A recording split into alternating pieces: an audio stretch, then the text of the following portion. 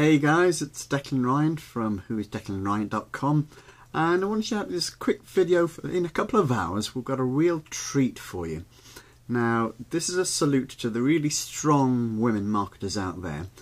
We've got four of the wives of four of the top earners in Empower Network uh, coming on to share their secrets and to share um, their strategies for getting to six figures as they have done.